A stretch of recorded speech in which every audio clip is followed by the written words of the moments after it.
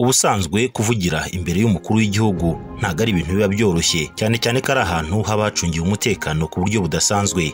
Ariko hari umukobwa umaze kubona ayo mahirwe inshuro zigera kuri ebyiri.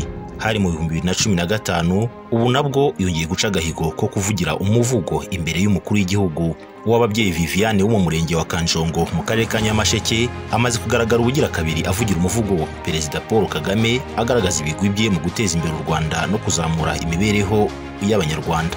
Mfura ifubitse u rwanda. Mfura nziza izira gufudika mfura ifumbatiye urwatubyaye.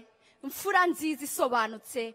Guma ku isonga haradusobanuye ntawe nkawe mu bo twabonye. Ntawe nkawe mu bo twumvise. Ntawe nkawe mu bo twabanye. Guma ku isonga haradusobanuye uwo mukobwa w'imyaka cumi n'icyenda y'amavuko yagaragaye kuri uyu wa gatandatu tariki ya makumyabiri na karindwi kanama bibiri na makumyabiri na kabiri ubwo yavugiraga umuvugo perezida paul kagame wari wasuye akarere ka nyamasheke. Ni umuvugo wuje ubuhanga yise mfura ifubitse u rwanda. Urata ibigwi by'umukuru w'igihugu aho mu nyikirizo yawo aba avuga ati nagume ku isonga. Yaradusobanuye. Arasezeranya agasohoza bwangu. Yaduhaye imihanda tudahogombye. Nagume ku isonga yaradusobanuye. Nyuma y'umuvugo we perezida paul kagame yashimiye umusizi w'ababyeyi viviane amukora mu ntoki undi nawe amushyikiriza umuvugo yamuhimbiye. Twatangiye tubivuga ko atari ubwa mbere w'ababyeyi ahimbiye umuvugo perezida paul kagame kuko no mu bihumbi bibiri na cumi na gatanu ubwo yari afite imyaka cumi n'ibiri y'amavuko byarabaye maze umukuru w'igihugu aramuhamagara aramuhobera. Ni umwana ufite inganzo koko. Ariko abenshi baribaza uyu ni muntu ki? Uw'ababyeyi viviane yavukiye mu mudugudu wa bizinga mu kagari ka kibogora mu murenge wa kanjongo. Ni umwana wa gatanu mu muryango wabo yize mu ishuri ribanza rya tyazo anahakomereza icyiciro rusange. Mu gihe amashuri yisumbuye yayize mu rwunge rw'amashuri rwa gihundwe. Kuri ubu yatangiye kuminuza muri east african university aho yiga ibijyanye n'amahoteli ndetse n'ubukerarugendo. Nyuma yo guca aka gahigo yabwiye itangazamakuru ko akiri muto yiyumvagamo inganzo yo kuvuga imivugo. Uburyo ubwo habaga amarushanwa batoranya uzahimba akanavugira umuvugo perezida paul kagame mu bihumbi bibiri na cumi na gatanu ubwo yari yasuye akarere ka nyamasheke yahize abandi. Ati perezida twahuye bwa mbere mu bihumbi bibiri na cumi na gatanu natoranyijwe mu baza kwakira mu buryo bwo kuvuga umuvugo. Wari umunsi udasanzwe kuri jyewe. Avuga ko yanejejwe no kuvuga umuvugo yise ntawe nkawe utaka ibigwi bya perezida paul kagame ugashimisha umukuru w'igihugu maze akamuhamagara akanamushimira. Ati narawuvuze arawishimira arampamagara ndamuhobera ndawumushyikiriza ankora mu kiganza arambwira ngo komereza aho. Biranezeza cyane. Ijambo perezida paul kagame yamubwiye yumvise.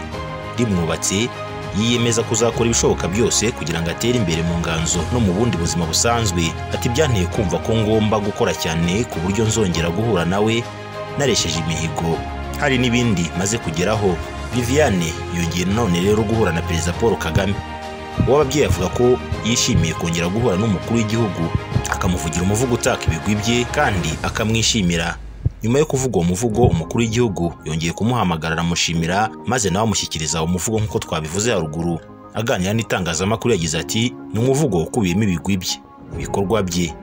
Numvaga ari bwo buryo bwiza mfite bwo kumubwira uburyo ibyo adukorera bitubera umusingi wo gutera imbere kandi tukaba twariyemeje gufatanya nawe mu guteza imbere igihugu cyacu. Umuvugo we urata ibigwi bya perezida paul kagame ariko utanga n'ubutumwa ku banyarwanda bose ubakangurira gukunda igihugu cyabo ndetse no kugikorera. Yavuze ko ubwo umukuru w'igihugu yamushimiraga yamubwiye ngo komereza aho. Ijambo nanone ryamwongereye imbaraga yumva imbere ye ari heza. Ati icya mbere ntahanye ni ishema icya kabiri ni ibyishimo icya gatatu ntahanye umukoro wo gukora cyane ngo ntere intambwe ijya imbere.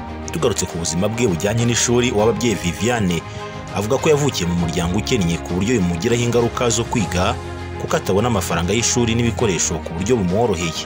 Uyu mukobwa uganira mu ijwi rituje yavuze ko bamwe mu bavandimwe be nabo bagerageje kwiga ariko bagacikiriza amashuri kubera ko ababyeyi bagiye babura ubushobozi. Ati mu by'ukuri imyibwire yanjye ntabwo yoroshye. Biragoranye. Ati ni n'ikintu mba numva ngize amahirwe yo kuganira n'umukuru w'igihugu namusaba ko bamfasha mu bijyanye n'imyigire yanjye kuko ababyeyi banjye ni abantu batunzwe n'ubuhinzi buciriritse. Ati nta handi hantu bafite bakura ku buryo kubona amafaranga y'ishuri n'ibindi bikenewe biba bitoroshye. Umunyamakuru yamubajije niba ubuyobozi bw'inzego z'ibanze nta kintu bumufasha mu myigire ye cyangwa mu buzima busanzwe asubiza ko ntacyo. Ati ngiye mbona ubundi bufasha butari ubwo gutumirwa gusa gutanga umusanzu ni byiza atariko nanjye mba nkeneye ibintu binyubaka mu buzima busanzwe. Aho nakura wenda inganzo ariko n'ibindi bimfasha mu buzima busanzwe bwa buri munsi biba bikenewe nkabafasha kwiga. Ati mu byo ashimira umukuru w'igihugu yagejeje ku rwanda no mu gace atuyemo by'umwihariko harimo umutekano usesuye guha abagore uburenganzira n'ijambo kurwanya ihohoterwa uburezi budaheza ibikorwa remezo birimo amazi meza amashanyarazi n'imihanda gukemura ibibazo by'abaturage. N'ibindi. Ngayo nguko yitwa uw'ababyeyi viviane wagize amahirwe yo kuvuga umuvugo awutura perezida wa repubulika inshuro ebyiri. Mukomeze muryoherwe n'ibiganiro tubagezaho hano ku jisho ry'umunyamakuru ariko nanone ntibibagirwe kugenda udakoze subscribe share comment n'ibindi. Uraba utanze umusanzu wawe mu kubaka uyu muyoboro tunyuzamo amakuru. Banyarwanda! Izina ry'u rwanda twubatse ntitukihembe kurisubiza inyuma ku nyungu zacu bwite. Ntibikabe. Kuko ibyiza tugezeho bitangaza benshi ni ikimenyetso cy'ibihambaye tuzageraho. Muragahora mwibuka aho tuvuye muragahora n'ibyishimo by'aho tugeze kandi muragahanga amaso aheza muragakungaharira muri uru rwanda. Umusizi w'urwagasabo uw'ababyeyi viviane.